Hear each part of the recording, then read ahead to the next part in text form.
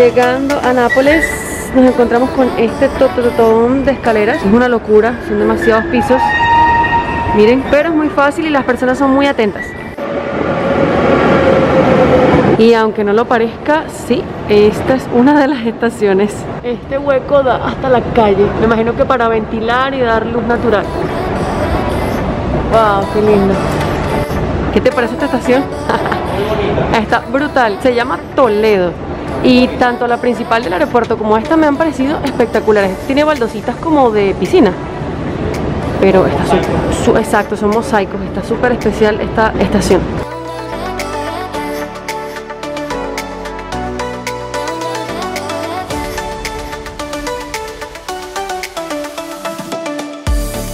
Seguimos subiendo, llevamos como 5 minutos de escaleras mecánicas y este es otro pedacito. Hola a todos y bienvenidos a un video más. Nos encontramos en la bella ciudad de Nápoles y es que solamente nos tomó 3 horas en tren desde Roma para llegar acá. Nápoles es una ciudad muy pequeña, pero en el video de hoy verán los sitios de mayor interés turístico de la ciudad. Y justo estamos en la Plaza del Plebiscito, ubicada en el corazón de toda la ciudad de Nápoles. Esto tiene aproximadamente un área de 25 mil metros cuadrados en donde se asoman monumentos históricos muy muy importantes, entre ellos el Palacio Real. Esta plaza fue por siglos un ensanche irregular en donde se desarrollaban las fiestas populares de la época. Con solo girarme un poquitito más pueden ver aquí el Palacio Real, un sitio de mucho interés eh, arquitectónico, cultural para la ciudad de Nápoles.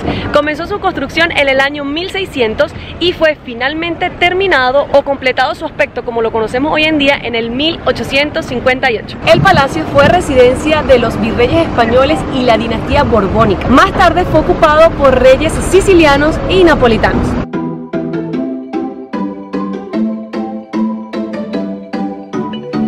en la parte de adentro del palacio.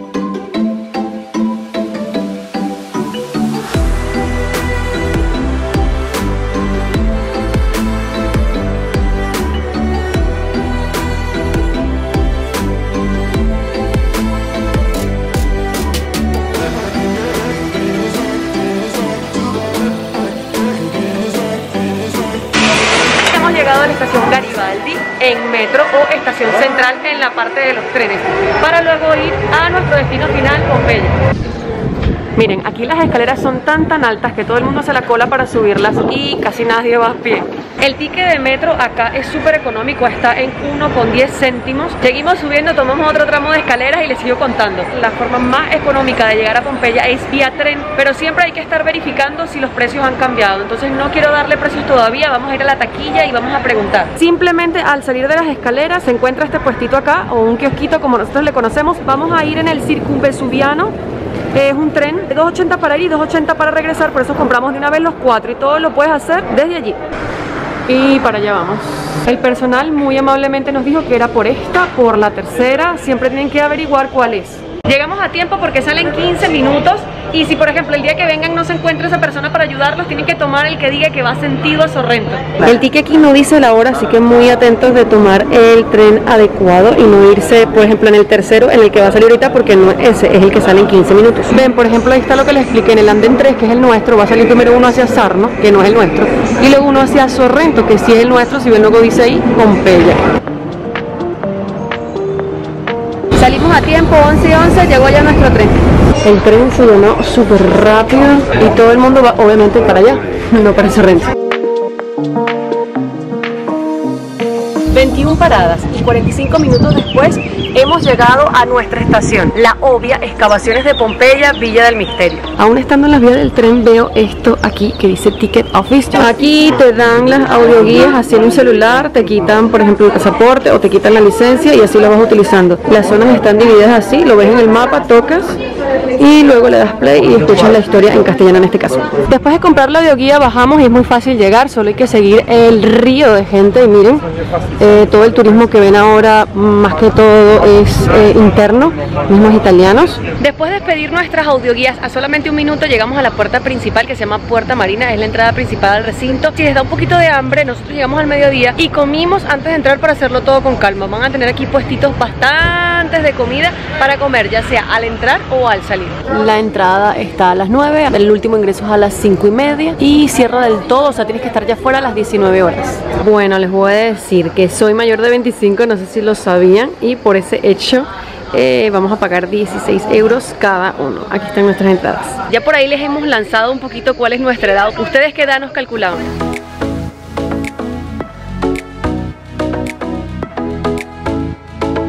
Para evitar el desgaste colocaron esta tarima para que las personas pudieran pasar y estos son los pisos originales de aquella época.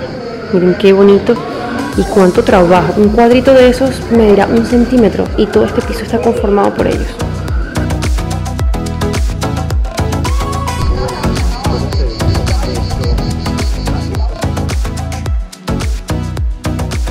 Miren qué lindo el mensaje que deja aquí esta papelera en italiano y en inglés. Dice, no seas un invitado civilizado bárbaro, recicla.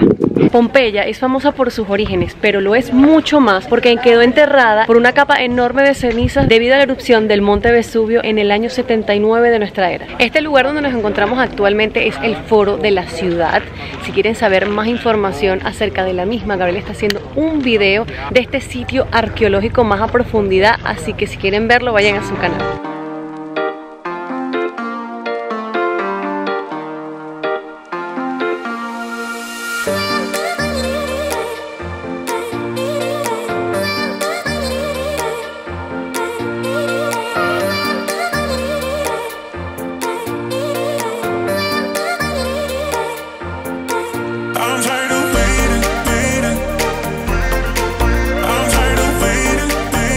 Esto que les estoy mostrando ahora es un perrito que murió durante la explosión del Vesubio y su cuerpo quedó petrificado. No sé si logran fijarse la posición que tiene él. Aquí las zonas están divididas por regios, si se dan cuenta en el mapa gratuito que te dan o en la audio guía. Y me estoy dando cuenta que en todas las partes de la ciudad aparecen estas indicaciones en blanco que hablan exactamente de lo mismo, regios. Yo creo que era la forma anteriormente de identificar las calles. Miren, dentro van a encontrar un restaurante, qué bien. Les recomiendo si al momento que vienen es verano, eh, se traigan agua y vengan muy temprano, ya que es un sitio bastante visitado. Al momento que estamos post-COVID, se encuentra llenísimo, llenísimo. Lo bueno es que no hay una afluencia de modo que te consigas a las personas de frente, ya que varias partes del recinto han sido cerradas para evitar eso mismo.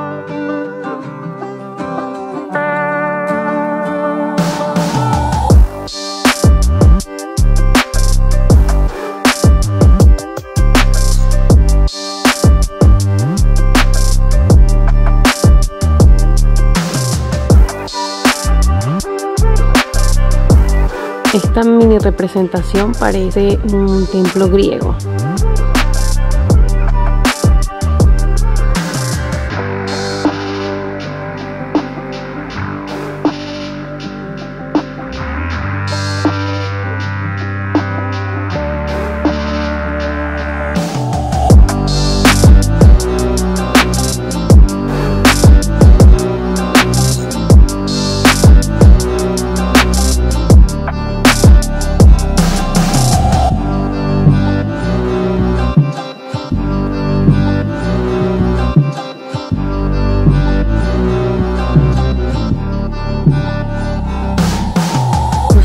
Poco más de 5 horas caminando y recorriendo la ciudad y aún no hemos terminado, por lo que quiero darte como consejo que si hay algún lugar de Pompeya que quieras visitar más que otro o tu recorrido vaya a ser muy reducido, te recomiendo que uses simplemente un GPS para poderte guiar y llegar más rápido, ya que los mapas que ellos te dan em, son bastante precisos, pero es difícil ubicarte y saber dónde es la derecha, dónde es la izquierda, por lo que pierdes mucho más tiempo. En este recorrido estamos tratando de ver toda la ciudad, pero ya sabes si tienes menos tiempo o no puedes caminar tanto debido al cansancio o si por ejemplo eres de tercera edad. Es un tip para que termines tu recorrido mucho más rápido. Y aquí el señor Pucci tiene su santuario. Vamos a verlo.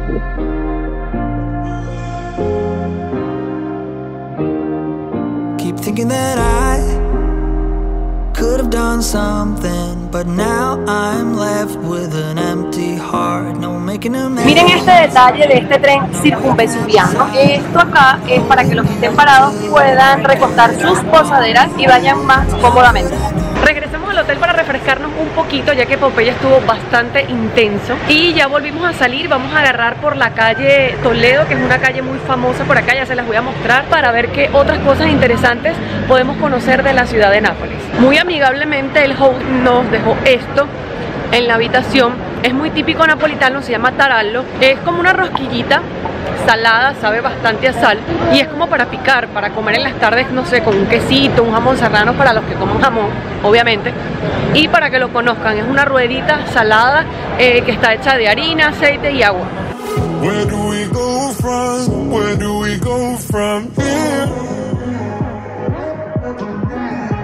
No one can save us, save us from keeping clear. Ahora quiero hablarles un poquito de esta calle que se llama Vía Toledo. Si se dan cuenta es una calle muy larga y con muchos comercios. Casualidad que nos hospedamos por acá y sin saber, esto es una vía muy importante para la ciudad de Nápoles. Tiene aproximadamente 1.2 kilómetros de longitud y va desde la Piazza Dante, en donde también hay una estación de metro que se llama Dante, por si quieren empezar a recorrerla, su inicio es allá, y termina en la Piazza Trieste y Treno. En toda esta longitud se encuentran aproximadamente 24 monumentos históricos arquitectónicos, por lo que caminar por aquí es un must si vienes a la ciudad de Nápoles. Además, que al finalizar la vía se encuentran todos, todos esos monumentos súper lindos que ya les mostré como la Plaza del Plebiscito y muchos otros. Si me preguntan, yo considero que Nápoles es una ciudad pequeña o tal vez que todos los monumentos y los sitios de interés se encuentran todos como juntos y es muy fácil visitarlas. Si necesitas ayuda en el metro o con el tren, las personas encargadas de hacerlo lo van a hacer con muchísima amabilidad a diferencia de otros países que he visitado, por lo que conocer y recorrer las calles de Nápoles se te va a hacer muy sencillo y una muy linda experiencia.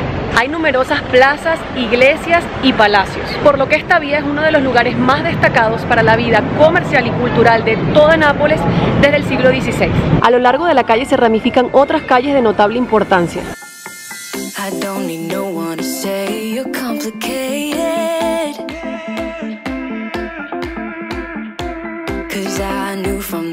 Una breve parada para refrescarnos porque el lugar donde vamos a comer es con reservación y aún no nos toca.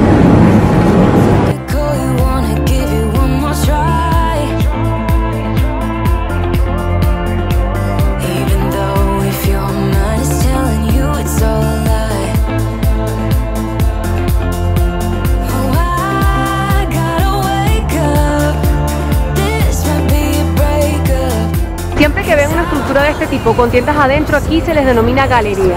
Estas son las galerías de Humberto I. Aquí aproximadamente cada dos minutos tú ves una pizzería. Obviamente es lo más tradicional y es lo que todos quieren probar cuando vienen a Nápoles.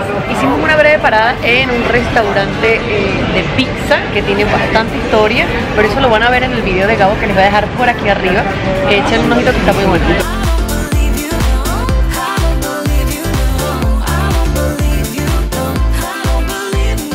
Desde que comencé a trabajar con un ordenador, mi vista se deterioró en un tiempo de dos años.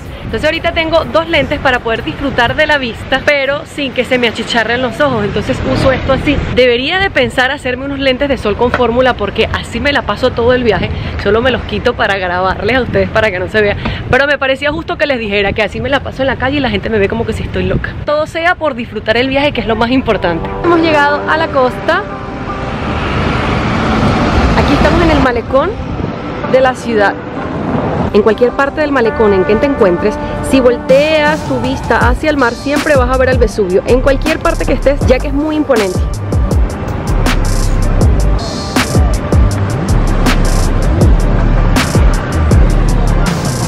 Esto ni siquiera es una costa para bañarse, está lleno de piedras, pero miren todas las personas que se encuentran aquí hasta allá bañándose, disfrutando del verano. Que con tristeza debo decirles los pocos días de verano que quedan, ya que este es el último mes de verano. Tienen hasta una escalera, o sea que el lugar sí está para esto, o sea, no hay arena ni nada, pero se adaptó, se ajustó para las necesidades de los napolitanos. Y como cualquier playa, tienen su chiringuito aquí justo al lado. Desde aquí sale un tour panorámico por la ciudad. Con razón hay tantas lanchitas.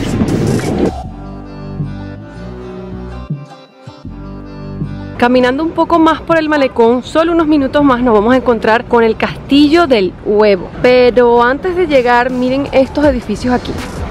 Están bien conservados y muy bonitos. No me imagino cuánto deben de costar. Miren qué fino está aquí. Con estrellas califican a los lugares de baño. La comunidad de Nápoles califica esta zona como buena para nadar.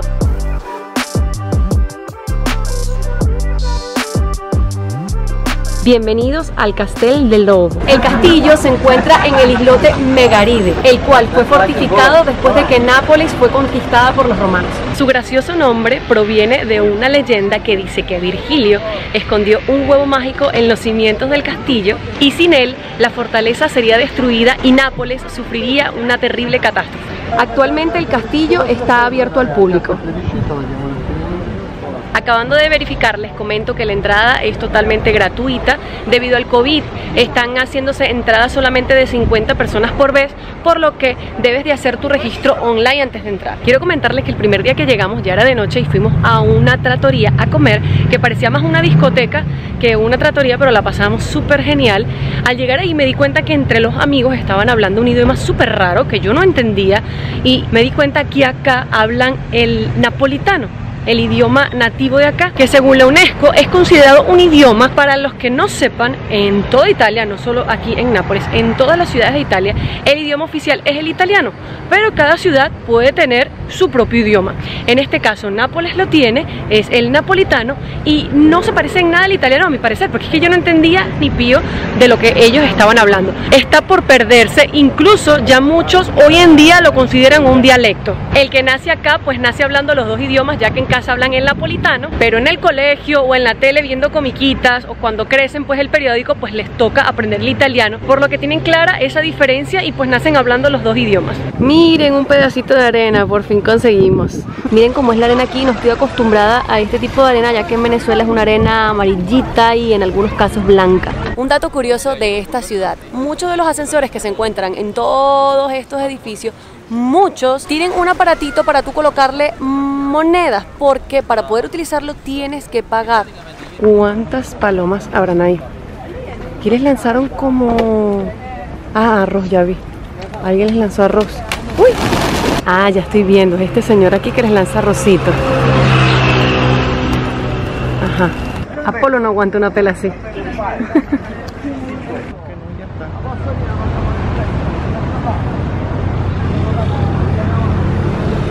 Con esta hermosa vista hacia Capri me despido de ustedes y de esta hermosa ciudad. No olviden suscribirse a mi Instagram y hasta otro video. Por favor, sáquenme de aquí.